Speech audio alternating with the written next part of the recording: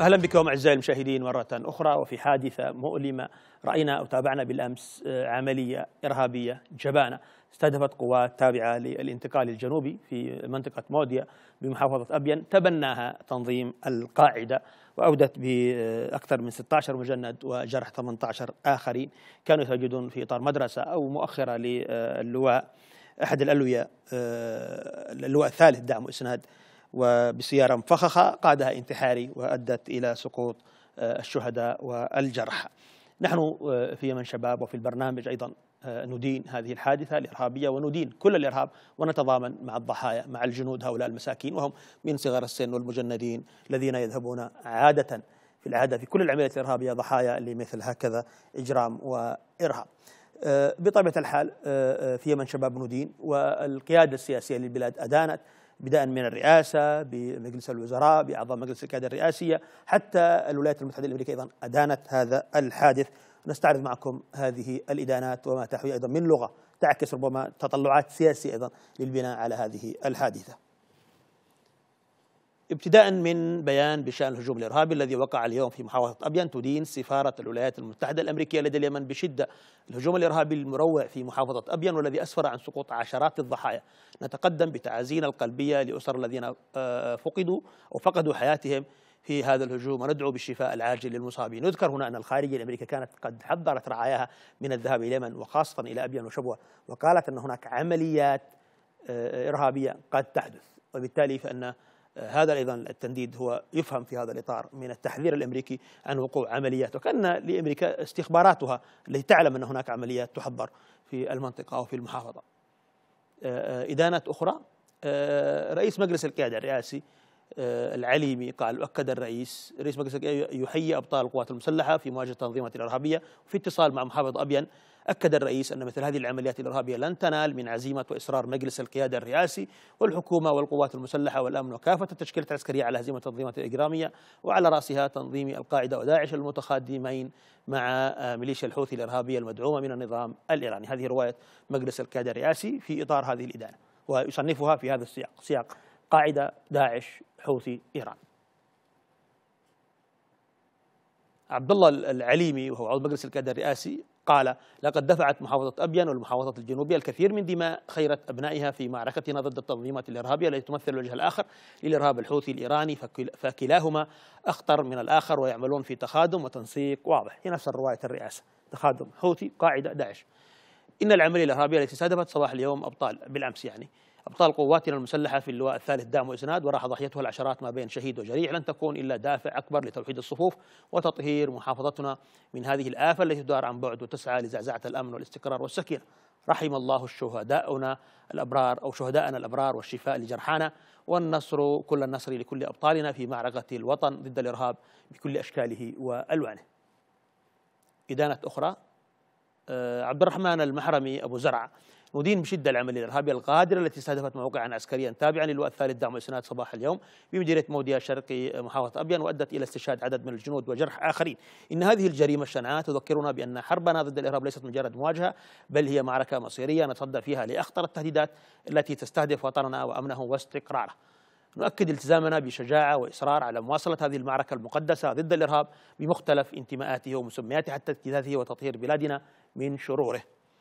نحيي بإجلال كبير أبطال قواتنا المسلحة والأمن على صمودهم وبسالتهم في مواجهة هذا الخطر الداهم ونعاهدهم بأن تضحياتهم لن تذهب سدى فهم درع الوطن وسياجه الحامي. ندعو المجتمع الإقليمي والدولي وهذا مهم إلى تحمل مسؤولياته في دعم قواتنا المسلحة على كافة الأصعدة لتحقيق النصر المطلق في معركتنا ضد الجماعات الإرهابية التي تهدد بلادنا فحسب التي لا تهدد بلادنا فحسب بل المنطقة والعالم بشكل عام. نترحم على أرواح شهداء الأبطال وندعو الله أن يمن بالشفاء العاجل للجرحى الملاحظ هنا أعزائي المشاهدين العليمي الأول والعليمان عبد الله العليمي ورشاد العليمي صنف القضية في إطار معركة ضد الحوثيين وضد إيران. لكن لغة المحرمي يريد أن يصورها في إطار معركة دولية أيضا إقليمية ودولية ضد الإرهاب و... ويريد القول أننا جزء من هذه المعركة وهي ذات مدلول سياسي سنستعرضه لاحقا. مزيد من الإدانات. الحكومة تؤكد أن الهجوم الإرهابي في أبين لن ينال من عزيمة اليمنيين في معركتهم لاستعادة الدولة وهزيمة التنظيمات الإجرامية. هذه رواية الدولة يعني ضمن الحوثي إيران وما إلى ذلك. أكدت الحكومة اليمنية أن الهجوم الإرهابي الجبان الذي سده موقعا عسكريا للواء الثالث دعم وإسناد بمديرية موديا محافظة أبين وخلف عددا من الشهداء والجرحى الميامين لن تنال من عزيمة اليمنيين في معركتهم لاستكمال استعادة الدولة. وهزيمة التنظيمات الإجرامية وعلى رأسها تنظيم القاعدة وداعش المتخادمين مع ميليشيا الحوثي الإرهابي المدعوم من النظام الإيراني. هذه رواية الحكومة الرسمية. أه، أحمد بن مبارك وهو رئيس الحكومة بطبيعة الحال يقول أن معركتنا ضد الإرهاب والإنقلاب مستمرة ولن تتوقف وتضحيات من المتوالية التي يقدمها أبناؤنا وخيرة رجالنا لن تذهب هدرا حتى تحقيق هدفنا الوطني. وما حدث من جريمة إرهابية اليوم استهدفت قوات اللواء الثالث دعم وإسناد وأسفرت عن استشهاد وإصابة العشرات من الأبطال. هي دافع نحو مزيد من توحيد الصفوف للقضاء على الإرهاب والانقلاب الحوثي باعتبارهما وجهان لعملة واحدة الرحمة للشهداء والشفاء للجرحى والنصر للوطن. نلاحظ هنا الحكومة رئيس الحكومة أعضاء مجلس القيادة الرئاسي الجميع يكرس هذه الرواية في إطار معركة واحدة ضد الإرهاب وضد الحوثيين. الرئيس الزبيدي يتلقى اتصالا هاتفيا من العميد طارق صالح لتعزيته في ضحايا تفجير موديل الإرهابي. يعني طارق بطبيعة الحال هو يعزي عيدروس باعتبار أن هذه القوات هي تتبع عيدروس وهذا أمر آه، واضح.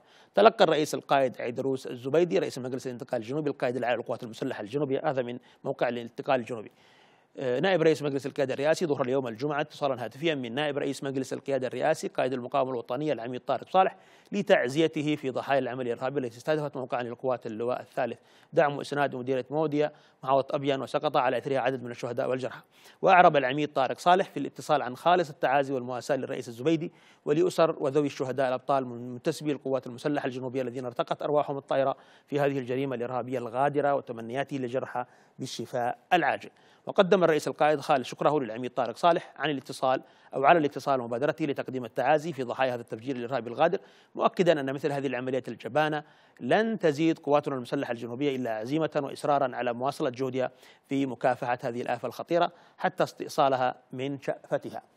هذه أيضا آه، رواية عيدروس الزبيدي. وزير الداخلية ميليشيا الحوثي هي رأس الإرهاب وتمول تنظيم القاعدة ماديا وفنيا، هذه رواية الحكومة أو الداخلية وهي تجد بأن هذه العمليات هي آه، لخدمة الحوثي. قال وزير الداخلية اللواء الركن إبراهيم حيدان إن العملية الإرهابية الآثمة والمدانه التي استشهد على إثرها 16 فردا وإصابة عدد آخرين من منتسبي اللواء الثالث دعم إسناد في موديا محافظه ابين لن تزيد أبطال الأجهزة الأمنية وإخوانهم بالقوات المسلحة إلا لحمة وتماسكا وإصرارا على استئصال شأفه الإرهاب وتنظيماته بمختلف مسمياتها الحوثية والقاعدية والداعشية وعناصره المارقة. عدنان العديني وهو الناطق باسم آه، التجمع اليمني للإصلاح قال ندين بشدة الجريمة الإرهابية النكراء التي استهدفت اللواء الثالث دعم إسناد في أبين ونعزي أسر الشهداء ونرجو الشفاء للجرحى. كما نؤكد أن على مؤسسة الدولة الرسمية القيام بواجباتها من خلال العمل وفق استراتيجية وطنية شاملة.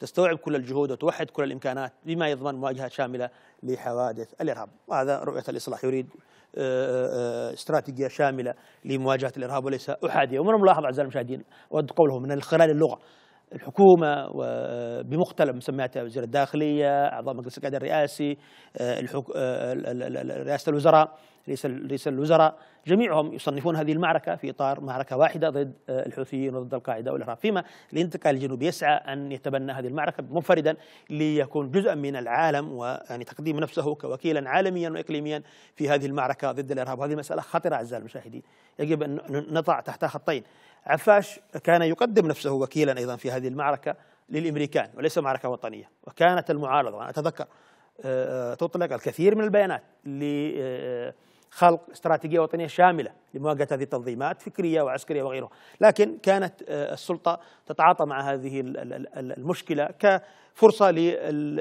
للابتزاز السياسي مع دول الإقليم والعالم. وهي لعبة خطرة. أودت بانهيار النظام نفسه في المحصلة الأخيرة.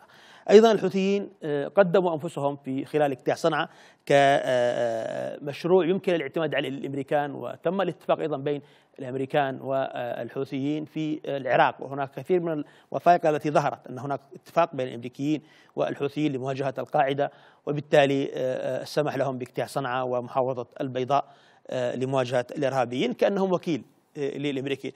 لكن الحوثيين انقلبوا على هذه الاتفاقات ثم انقلبوا أيضا على السلطه ككل وعلى الأمريكان وعلى كل شيء. وبالتالي فهذه استراتيجية خطرة آه، ما لم تكن في إطار وطني شامل يتفق حوله الجميع بأن الخارج لنقول الأمريكان هم سيستخدمون كل الأطراف في هذه المعركة ومن ثم لا يخدمونهم بشيء. وبالتالي فإن إن كان هناك طرف يراهن على المعركة ضد الإرهاب لتحقيق مكاسب سياسية من الخارج فأنا أقول أن الأمريكان من أوغد الناس في العالم سيدفعون بك في الواجهة في الاستنزاف تستنزف شبابك. وبالتالي فإن الانتقال هو يستنزف. أنا أقول هناك معركة حقيقية ولا أقول أنها تمثيلية أو مسرحية. في أبين. وبالتالي القاعدة أو حتى داعش تنظيمات خطرة. والمواجهة معها أيضا مواجهة خطرة. وتودي بكثير من الشباب ضحايا لهذه المواجهة. فهم لا يكترثون. مجرمون بالفعل يعني تفكيرات انغماسيون سيارات مفخخة وتطلب الأمر مواجهة وطنية شاملة مع الإرهاب ومع الحوثيين. وأنا أجد أن تصنيف الأمر في إطار معركة وطنية هو الأجدى والأنفع ويجب أن يتضافر الجميع في مواجهة مخاطر الحوثيين ومخاطر الإرهاب. باعتبار الإرهاب هو عدو للجميع وعدو للاستقرار وعدو للوطن ولن يكون يوم من الأيام عدوا لطرف سياسي دون آخر.